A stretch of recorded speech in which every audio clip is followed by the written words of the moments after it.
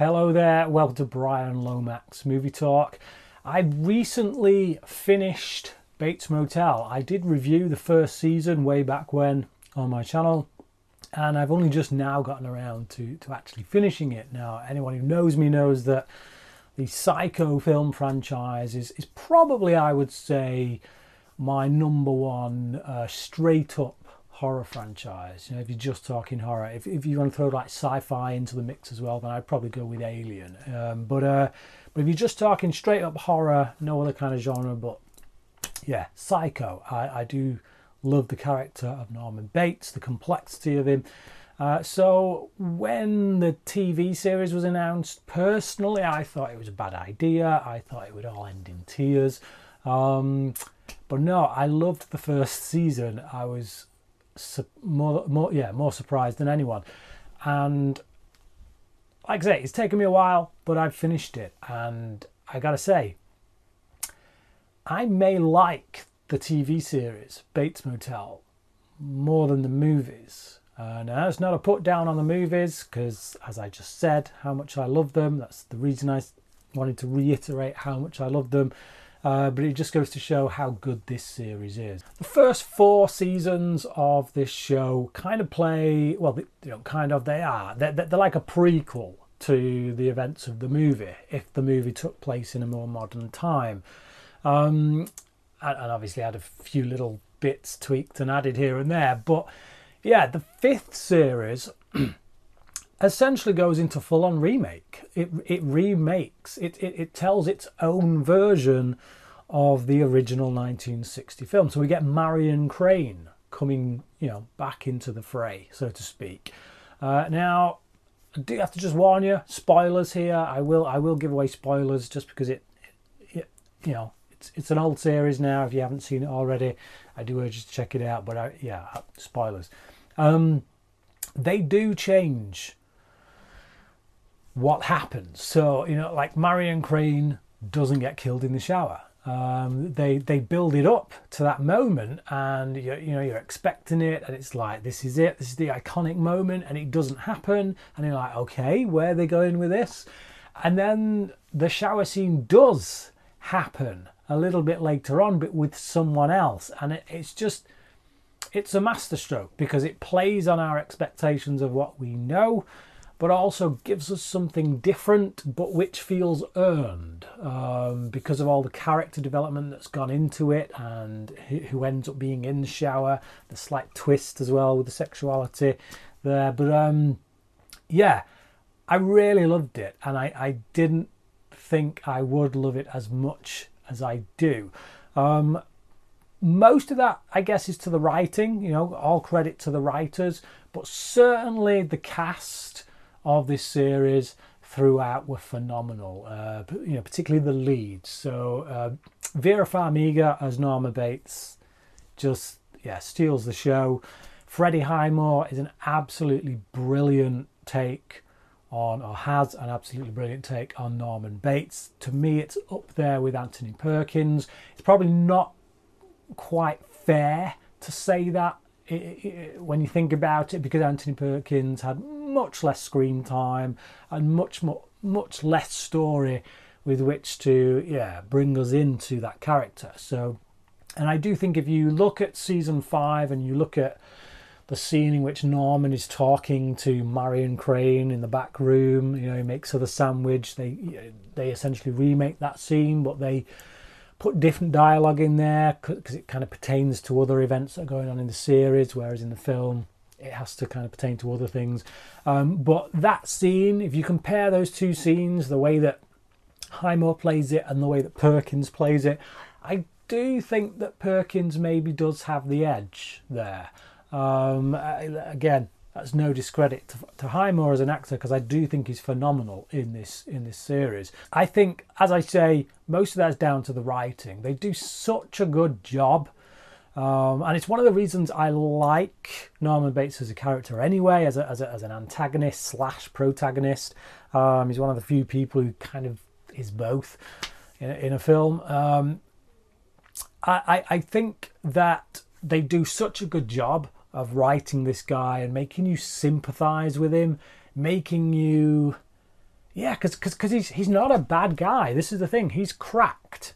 You know, part of his psyche has cracked because of events that happened to him when he was younger, and he's not been managed right. You could blame Norma for that, but you know, ultimately she loves him, and everything she's done for him, she's done out of love. Um, so all of these characters, even though they do bad stuff, even they do, they you know they go down some some rough paths, um, their intentions are always kind of mostly pretty good, and and so it makes you sympathise with them and it makes you care for them. You know, so across these 50 episodes, you really grow to care for Norman Bates, and you want him to get out. And knowing that, you know, if you follow the films, Norman Bates does break away from from the the scarred part of his psyche in Psycho 4. He manages to overcome, so to speak. He gets his happy ending, and we don't get that here. Norman doesn't get his happy ending, and he has to, yeah, well, I don't suppose has to, but he is killed by his brother. His brother feels like he doesn't have much choice. I mean, either way, Norman's a dead man. You know, uh, he's he's either going to go to the you know, death death sentence by lethal injection, or what is essentially here a mercy killing by his brother. Um, Max Thieriot, uh, I think that's how you pronounce his name, Thieriot, He's great as the brother. Again, real great character development. He starts off in the series being someone who, you know, applies himself well to the drug trade. He just kills someone in the first season. It's been a long time since I've seen the first season actually, but I remember him hitting someone with a car and thinking, oh, blimey, how do you redeem yourself from that? But across the course of the series, he breaks away from that life. And Olivia Cooke's character, she kind of becomes his salvation in a way. She she represents something to him that is worth changing his ways, that is worth getting out of that life in order to start a family, in order to go on the straight and narrow and do things differently. Um, but he never runs from his past. He never he never tries to ignore his past. Uh, and I think that's brilliantly captured in a scene where he goes for a job interview and he pretty much out and out says, Look, I may not be the best candidate for the job. I worked in the drug trade. Here are the skills I had developed as, as a part of being in the drug trade. I can apply them to something more useful. And, you know that honesty there from him, um, and and the refusal to, you know, not try and push aside his history. I think really helps us to to feel like he redeems himself. I guess in a way. Uh, you know, even though he has killed someone. uh, another great character that I, I really loved in the series was Nestor Carbonell's sheriff.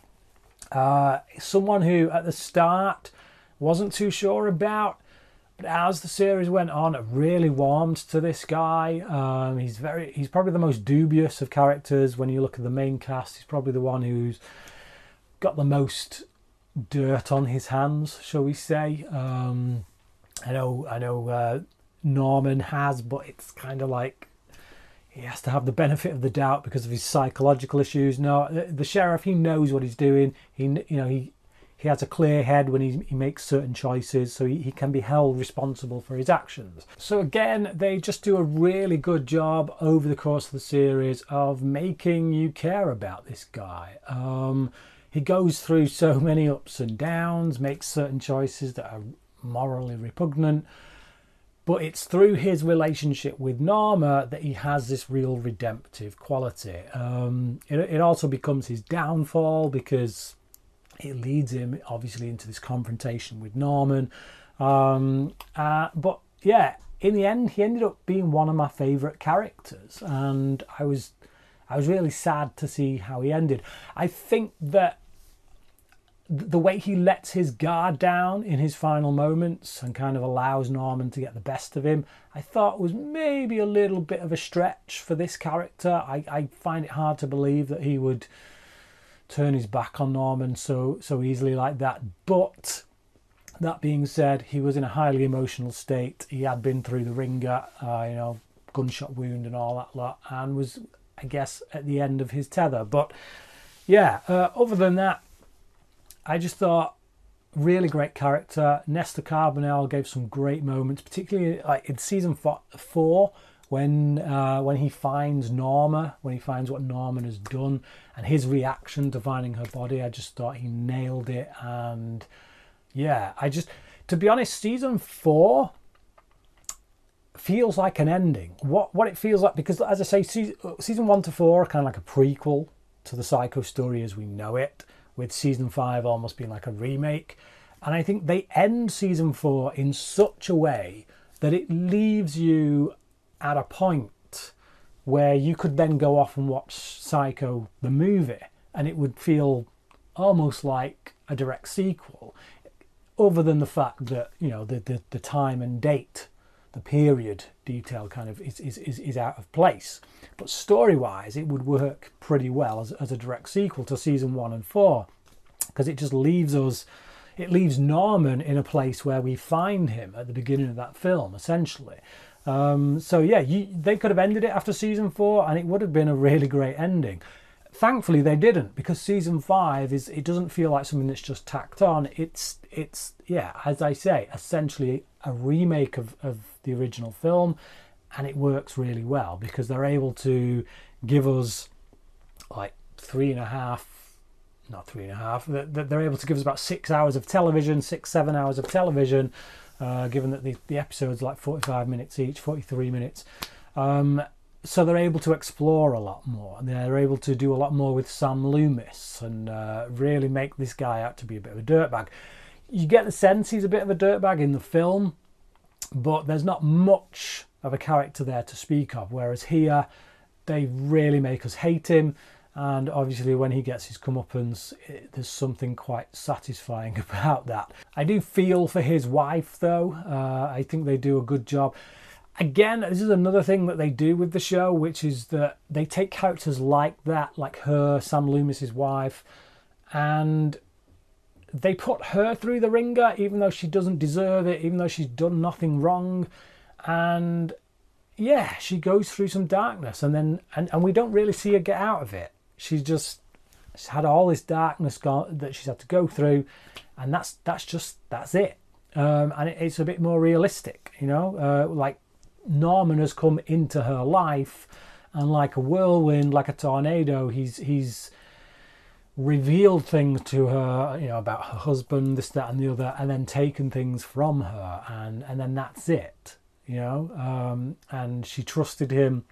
That trust was broken and there's nothing she can do about it. And you, you feel for her, but that's life. She's a victim. Because it would be very easy, I think, with a show like this to make everyone that Norman kills be a douchebag. And yes, Sam Loomis is a douchebag in this, but he's not the only one who gets hurt as a result of Norman Bates killing him. You know, it, it, it has ramifications in other people's lives, it destroys other people's lives. And I think that there would be, uh, uh, um, I guess, the temptation in a series like this to just make all of his victims douchebags so that when he kills them, it's almost like a form of heroism. It's almost like he's doing society a service, doing society a favour.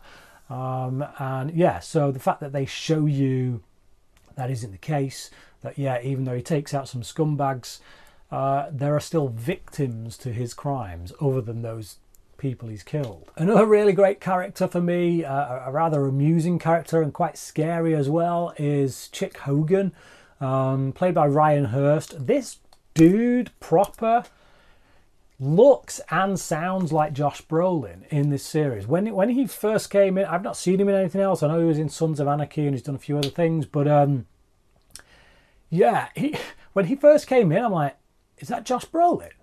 How did they, how did they get Josh Brolin? it's not Josh Brolin. It's, it's obviously it's Ryan Hurst. But yeah, dude could proper play Josh Brolin's brother in in in a film or a TV show, whatever. But um, no, he's great in this. He's so off kilter, so off balance. There's something not quite right upstairs with this guy. Um, and like I say, at, at the start when he's first introduced, he's quite a scary character because he's unpredictable um, and you, you worry about what he's going to do next. And then in season four, season five, when he kind of ingratiates himself into Norman's life, decides he's going to write a book, uh, true life true life story about what Norman is doing because he's the one he's the one who's cottoned on to, to to what Norman's done with his mother and the fact that his mother is part of his personality, one of his personalities. Um, he, he's going to bank on it. He's going to he's going to make buck from it. But this guy's got no filter at all.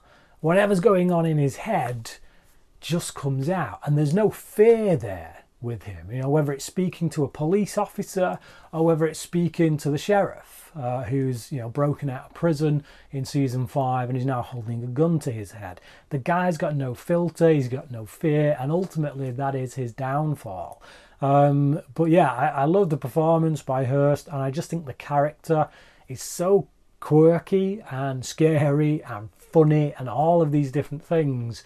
Uh, and I, I think again, yeah, props to Ryan Hurst for, for making this guy so enjoyable to watch. They do such a good job, particularly in season four and five. Uh, and I know I'm, I'm, probably harping on mostly about season four and five. They're the ones that are most fresh in my memory. Um, but they're also the two seasons that kind of bring us to the to the Norman that we know from the movies. Um, and season four kind of deals with this storyline in which Norman is kind of he's going into a, a mental home. You know, that his mum his mum is finally acknowledging that there's yeah there's something needs to be done, something not quite right with him. But she's always being torn between you know being that person that he needs and being the person that he wants. Um, and unfortunately, she errs too much on the side of the person that he wants, um, which is you know a friend and all that. Uh, but uh, the the whole plot in season four when Norman's kind of mental state really does come to the fore when he starts seeing his mother a lot more, and then in season five when it completely overtakes him. I, you know, I I had a an uncle who had bi- bipolar with schizophrenia, and there's a lot of stuff in this show, and I know that this show really does ramp up the a lot of the aspects to do with with Norman's mental health, possibly to do it to a degree that isn't quite believable. But hey, that's television. But even so, I still think it does a very good job of getting into the mind of someone who has these conditions.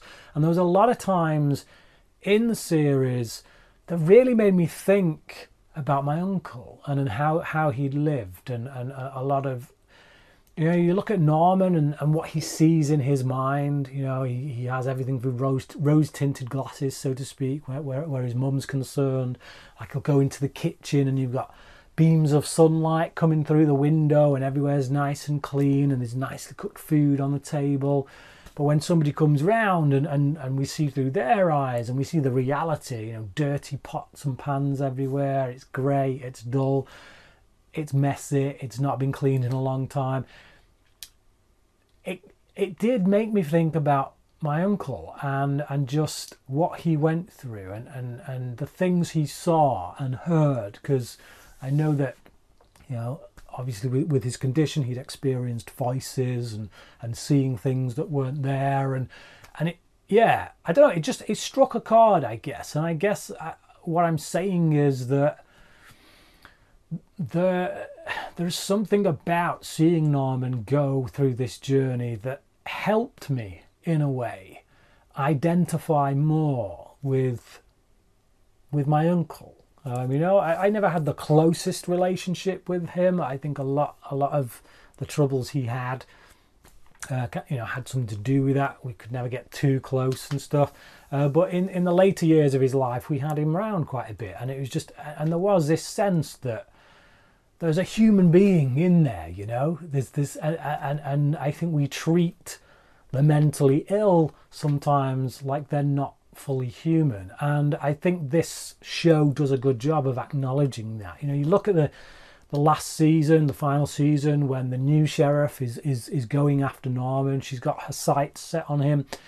And everyone else around is kind of like, yeah, this this guy is a, is a maniac. He's he's he's evil. He's they're seeing him through a very particular lens, and that is a, the lens of someone who has experienced his crimes through his victims because they're victims himself. You know, they, they've seen the dead bodies, they, they know what he's done to people they love, and that's it. Whereas his brother, you know, he he can he can he doesn't just see this killer. He sees what's underneath. He sees the human being. He sees the soft, gentle human being that is Norman, and and, and the fact that he's he's engulfed in this mental kind of brokenness. Um, and I, I think the film does a good job of highlighting just the way that sometimes we throw the book at people without truly getting to grips with the, the mental problems that a lot of people within the prison system have. You know, there's a lot of people that are incarcerated that, that maybe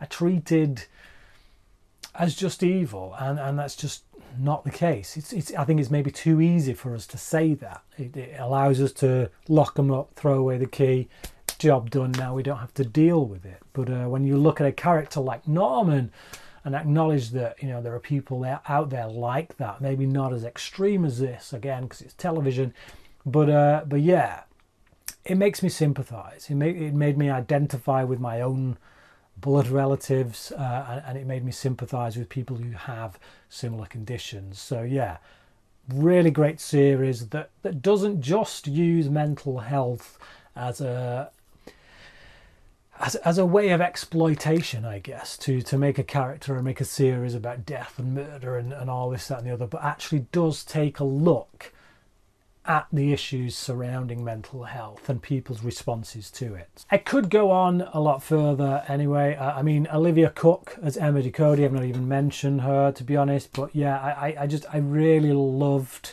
her throughout this series. And I always had the sense of impending doom with her from the get go. I always thought, I mean, I mean, it didn't help that they that she was a character who was, was constantly on a respirator. She had lung problems, this, that, and the other. So it was almost like her cards were marked anyway. So when she comes into Norman's life, you're kind of like, the set the setting this character up for tragedy. She is going to be a victim of Norman, and that's that's what I always thought. That's what I always expected. I always thought that would be the ultimate tragic moment in the series that that Emma somehow you know ends up being killed by by Norman, and even more so once she started dating his brother, because you know how how much more tragic would that be for for the brother that his his wife, girlfriend, whatever is then killed by his own brother, and it's just that's where I thought it was leading. I'm glad it didn't because it means again it, that the series isn't predictable. Instead, they went somewhere that I didn't predict, and I'm glad that she got to have a happy ending uh, with, with, with Norman's brother. So yeah, you know, it's, it's not all gloom and darkness. There are some happy endings. But as I say, I could go on much further. Um, but I think I'm going to leave it there. If you haven't seen Bates Motel, I do strongly urge you to check it out. It is one of those series that, that, just gets better and better, and I do think that the strongest seasons for me were four and five.